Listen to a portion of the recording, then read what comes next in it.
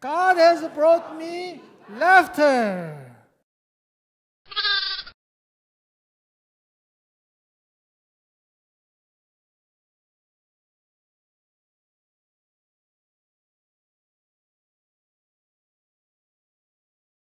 Third, because it is through Isaac that your offspring will be reckoned.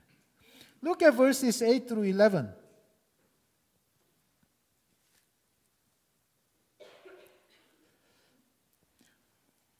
On that day that Isaac was weaned, Abraham held a great feast. All of Abraham's friends and townspeople were invited, and Sarah prepared enough mouth-watering dishes for everyone at the feast. Maybe homemade uh, lasagna, Korean barbecue, and fresh baked pumpkin pie for dessert. The feast held in honor of little Isaac was such an important and joyous event that everyone rejoiced together with Isaac and his family. But there was one person who wasn't so happy. It was Ishmael, Isaac's uh, older half brother. Thus far, Ishmael was the only son in this family. So he was the only heir to inherit everything of uh, everything of Abraham and Sarah. But when Isaac was born, suddenly he became an illegitimate child, a, a son of the son of a slave woman. Literally, he lost everything. By this time, Ishmael was 17 years old. He knew what was going on. He was jealous of Isaac. So, even at such an early age, he began harassing Isaac. Sarah saw this, and she was really angry. She said to Abram, Get rid of that slave woman and her son, for that slave woman's son will never share in the inheritance with my son Isaac. Her reason was totally personal. She really disliked the idea that the, that woman's, that slave woman's son would share the inheritance with Isaac. She would never let it happen. So she asked Abram to kick them out. At this, Abram was greatly distressed. To Sarah, Ishmael was that slave woman's son. But to Abram, Ishmael was his firstborn son whom he had loved so much. Once he uh, uh, thought that his life was uh, meaningful enough. Well, it was worthwhile to live for even his son Ishmael. That much he loved Ishmael. But now he was asked to kick him out of his house. Abram was greatly dis, uh, distur- uh, distressed. Look at verse 12. Let's read this verse together. Uh, verse 12.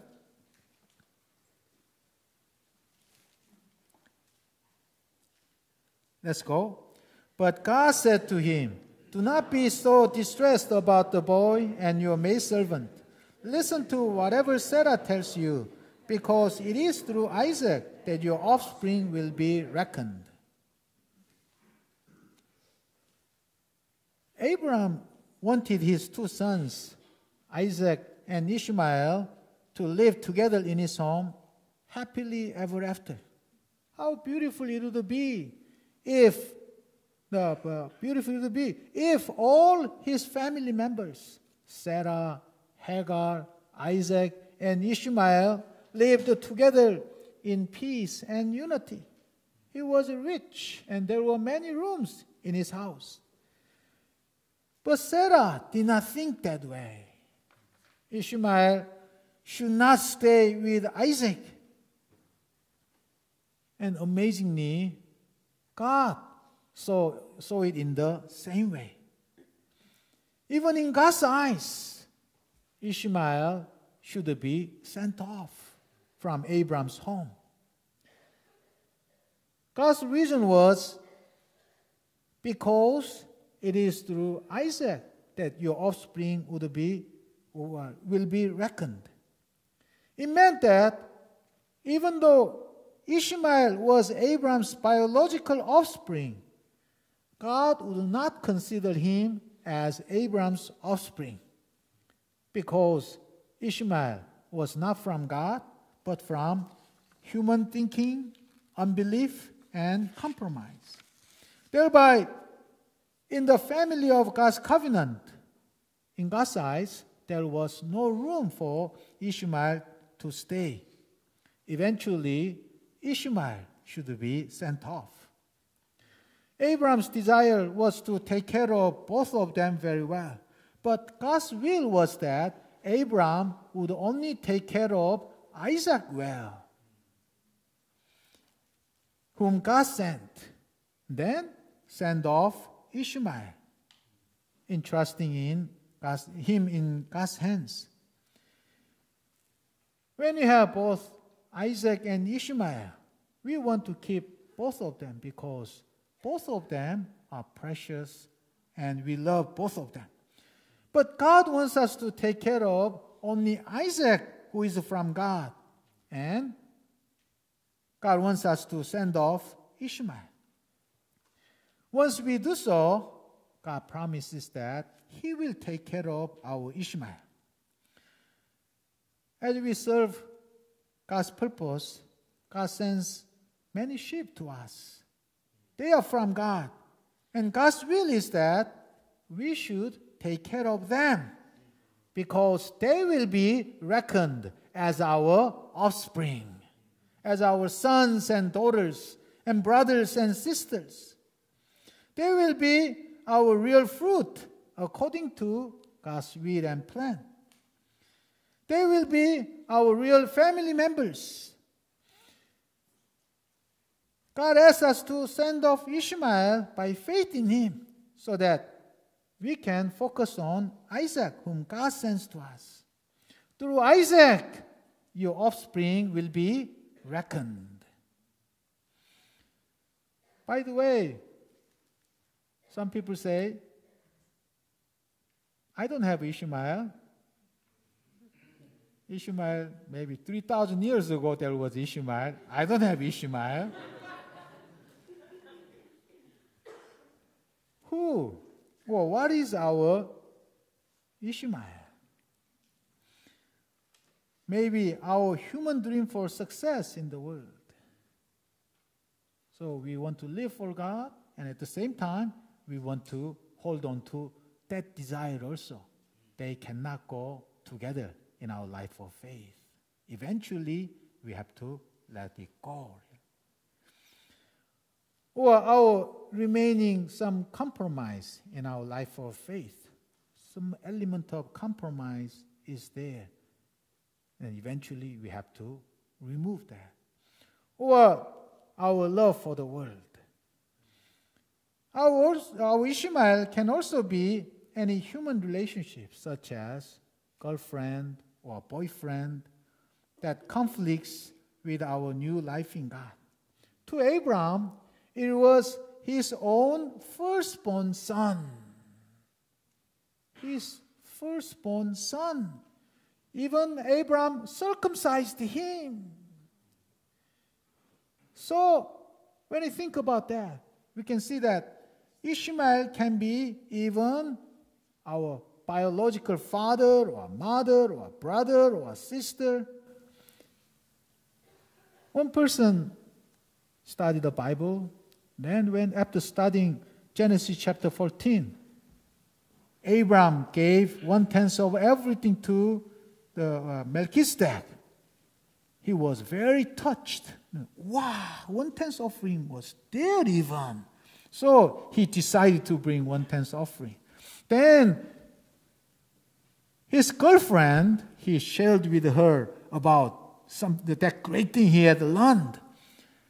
And her girlfriend uh, challenged him and then stopped him, and he was troubled and uh, he just compromised. Then later, uh, less than a year later, he fell away uh, because he wanted to keep that relationship. Then, about less than a year, his girlfriend found another man and he was left out. That, then maybe Ishmael, he had to really send off, really. Another person where I know, uh, Dr. John John, uh, he uh, uh, uh grew up uh, under the care of a widowed mother. He saw how much she suffered to support him.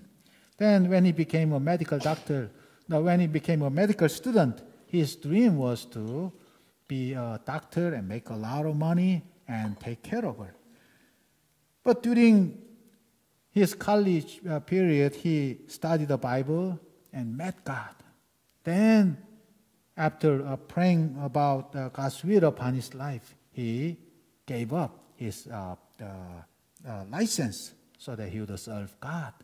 Then God accepted his decision and established him as a great man of God. Under his care, Korea UBF sent out about 1,700 missionaries to the, uh, uh, to the entire world. God blessed him greatly. There are many practical Ishmaels people may have. Maybe they want to hold on to them as long as possible, but eventually God wants them to send, uh, uh, send them off so that they can be really dedicated to God and pursue God's purpose. People want intimate fellowship with God, talking to God and hearing from Him directly. They want to do mighty works of God for God's glory, even performing great miracles by the power of the Holy Spirit. But to many of them, it is nothing but a wishful thinking because they do not send off their Ishmael. With the elements of compromise in their lives and hearts, their spiritual growth has limit. God's direction for us, as it was for Abraham, is to send off Ishmael so that we can really focus on Isaac, whom God sends. And under our care, Isaac can grow very well. And then become great people of God. And he promises that if we send Ishmael off, he will take care of no, he will take care of him very well because he knows our concern for our Ishmael. Upon being given such a harsh command, what did Abraham do? Look at verse 14. Let's read this verse together. Let's go. Early the next morning, Abram took some food and a skin of water and gave them to Hagar. He set them on her shoulders and then sent her off with a boy. She went on her way and wandered in the desert of Beersheba. Abram didn't uh, question or plead with God concerning this matter. Instead, early the next morning, he gave Hagar and Ishmael one gallon of water and a, a, a sack of lunch and sent them off into the desert as God had told him. His firstborn son, he just with the lunch sack and then the gallon of water he sent him into the desert. How, how, what would happen to him? In the eyes of people, how did he look? He looked really cruel. Uh, uh, during Bible study on this passage, one of my students screamed, Oh my goodness, Abraham was cold hearted. No, he was not cold hearted. He was such a great man, tender hearted as we learned in the previous passage. In order to obey God's word, Abraham denied his feelings and emotions. Abraham was fighting a fierce battle. How did Ishmael feel when his father his own father was kicking him out only because he had a new son. Oh my goodness. Ishmael was really hurt. He was confused. He felt betrayed. Maybe he was angry at Abraham. Maybe he did not want to see his father's face at all. Maybe he, he hung his head low. Or he was staring at his father with angry, uh, uh, with his eyes glowing with anger. Maybe he screamed at his father, I hate you. I will never see you again. When Abraham saw his firstborn son suffering so terribly this way, his heart was broken. But he did not live by his feelings and emotions. He did not live by his human nature either. Instead, he lived by God's word, denying himself and doing what God wanted him to do. While seeing his son suffering so much, he pushed him out of his house. And then while he was crying so much, he just shut the door. Wow. That much Abraham fought. Even at such great pain, he did not back out.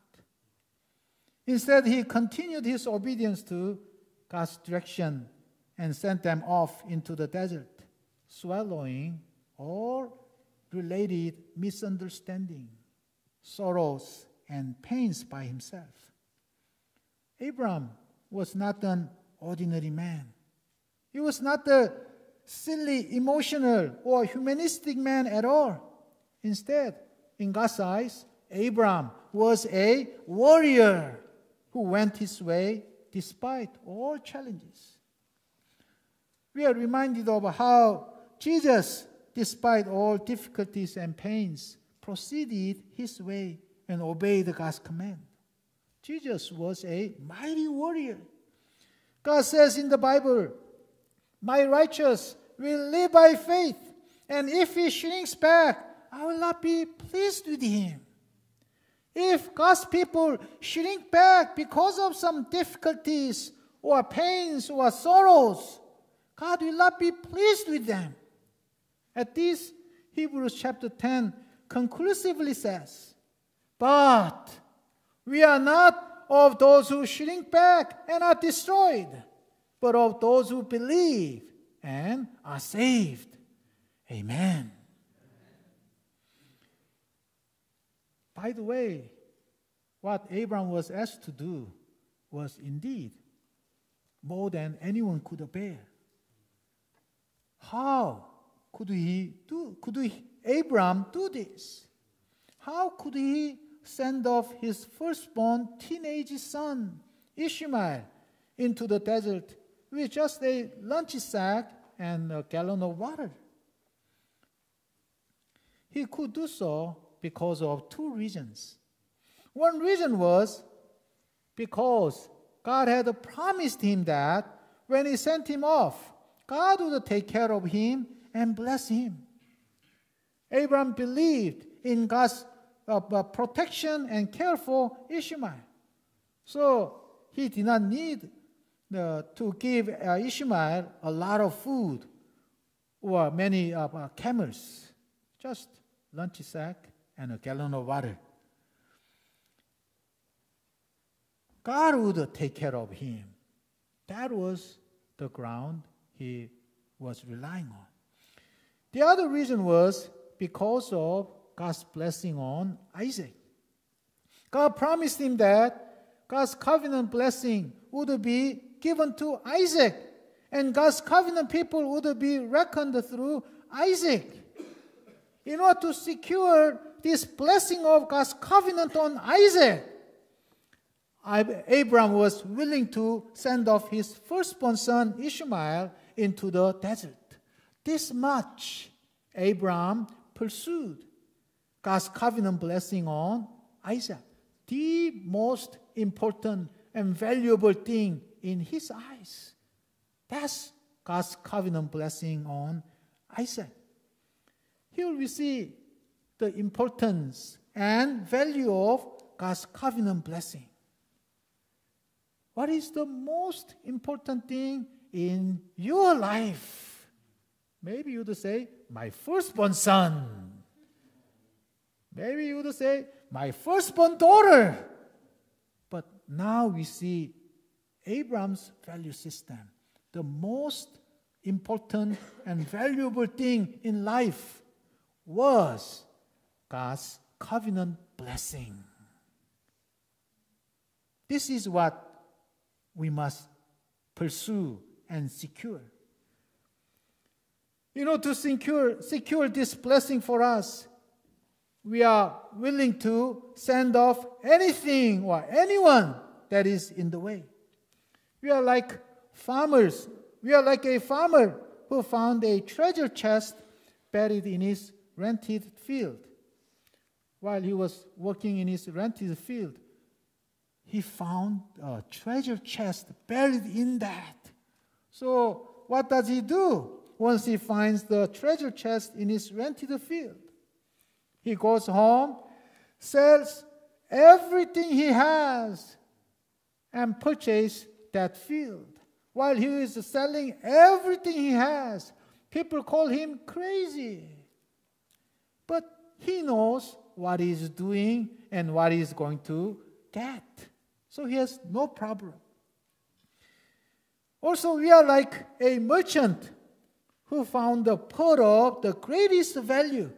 It was for sale. And it seemed, it seemed that no one really recognized its real value. So, what does that merchant do? He goes home, sells everything he has, and purchases the pearl. God's covenant blessing is like that. The most valuable thing in this life we can have. The most precious thing. God's covenant is, is a token that brings us into real intimate fellowship with God. A token that will bring us into true friendship with God. It is a token that will bring to us great inheritance in the kingdom of God. We value this blessing above all other things. So we pursue this with all our heart and strength. At any cost, we secure it. Then people say, You are crazy. We don't care. Why? The most precious thing you are securing. Who cares, really? This most precious thing you are securing. This is what Christian life is really about. God calls you to His covenant. Do this, and I will do that for you. That's contract. We accept it and we pursue it. That's what Christian life is really about. And this covenant, contract with God, is the most glorious and important and valuable thing. We must take care of Isaac, whom God sends, because through him our offspring will be reckoned. Abraham sent off Ishmael into the desert. That was a turning point for Abraham. That as he did so, he got rid of all compromising elements from his life of faith. You know, to live for God and pursue God's covenant blessing, he sent off his firstborn son into the desert. This shows his, heart, uh, his heart's complete decision that he would seek God's will, God's covenant alone with all his heart and strength. Nothing else, even his own firstborn son, he gave up. That much he was determined to seek God's covenant purpose. Abraham fought a fierce battle, spiritual battle, and he won the victory. In verses 15 through 21, we see how God took care of Ishmael. By the way, what happened to the Ishmael and Hagar? They suffered so much in the desert. Maybe in, uh, in, the, uh, in less than a day, they used up all lunch sack and a uh, gallon of water, and they wandered in the desert uh, all the way, maybe two more days and three more days. And then what happened to them? They collapsed and they were crying. And Hagar could not watch uh, her son uh, dying that way, so she uh, uh came up uh, about about a bow shot away from Ishmael, and there she was going to die separately. That much. Meanwhile, what did God do? God just watched. And right before they died, God intervened and rescued them. So we wonder how come God did not help them right away? He promised. But uh, did he really uh, uh, violate his, uh, uh, his did he, didn't he uh, Uh, keep uh, his promise uh, for Ishmael and Hagar? Yes, he, he kept his promise, but he waited until they reached their limit and collapsed. So we wonder, why did God do so? What is your idea?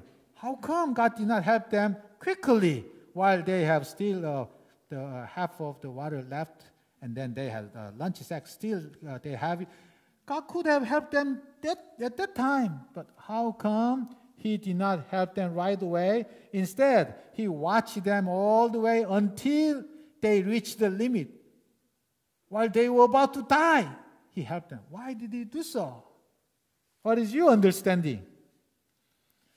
Maybe uh, if you ask me, I can tell. Why did God do so? Because that is His style. That's what He does all the time. He always does, does at the last moment, He comes and helps us. Why? I don't know, but based on experience, when He did that, I was so happy and thankful. If he did so, uh, if he helped me when, when I said, please help me, give me a job, and then he gives me a job, then I would say, oh, thank you. Then I would forget about it. I would take it for granted. But when I reached my limit, about to die, and he helped me, I was super thankful. I would never forget that experience. What if God helped uh, Ishmael right away? So he was still angry and then bitter and then and then God gave him a, uh, uh, uh, food and then God gave him a job and he survived and he was successful. Then what? He would still be angry at his father. How could you do that? How could you do that to me? Then he would even angry at God, saying, Because of you, my father was like that. Because of you.